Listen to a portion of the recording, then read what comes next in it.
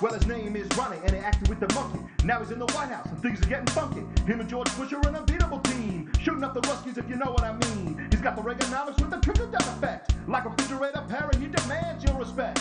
So listen up, y'all, Reagan's got my dime, cause we'll never see a black president in our lifetime.